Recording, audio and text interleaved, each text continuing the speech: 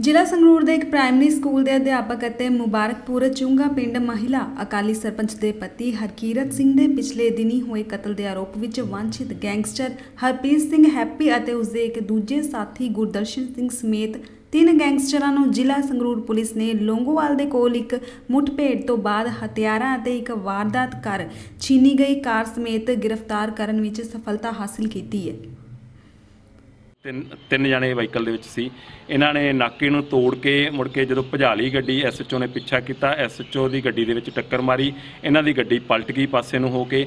ਉਹਦੇ ਵਿੱਚੋਂ ਨਿਕਲ ਕੇ ਦੋ ਫਾਇਰ ਉਹਨਾਂ ਨੇ ਉਹ ਕੀਤੇ ਆ। ਉਦੋਂ ਬਾਅਦ ਅਸੀਂ ਇਹਨਾਂ ਨੂੰ ਫੜਨ ਦੇ ਵਿੱਚ ਕਾਮਯਾਬ ਹੋਏ ਆ। ਕਾਂ ਇਹਨਾਂ ਦੇ ਵਿੱਚ ਕੋਲੋਂ ਇੱਕ 12 ਬੋਰ, ਦੋ ਪਿਸਤੌਲ ਇਹਨਾਂ ਤੋਂ ਰਿਕਵਰ ਹੋਏ ਆ। ਪੁੱਛਗਿੱਛ ਦੌਰਾਨ ਇਹ ਗੱਲ ਵੀ ਸਾਹਮਣੇ ਆਈ ਕਿ 7 ਤਰੀਕ ਦੀ ਰਾਤ ਨੂੰ ਇਹਨਾਂ ਨੇ ਮਾਨਸਾ ਫੱਫੜ ਕੇ ਭਾਈ ਕੇ ਜਿਹੜਾ ਪਿੰਡ ਹੈ, ਫੱਫੜੇ ਭਾਈ ਕੇ, ਉੱਥੇ ਇਹਨਾਂ ਨੇ ਖਾਨ ਨਾਂ ਦੇ ਆਦਮੀ ਦਾ 8:30 ਵਜੇ ਕਤਲ ਕੀਤਾ।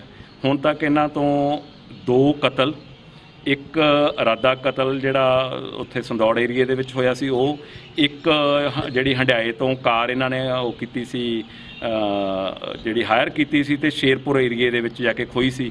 ਉਹ ਕਾਰ ਵੀ ਉਹਨਾਂ ਤੋਂ ਰਿਕਵਰ ਹੋ ਗਈ ਹੈ, ਤਿੰਨ ਵੈਪਨ ਰਿਕਵਰ ਹੋ ਗਏ ਆ।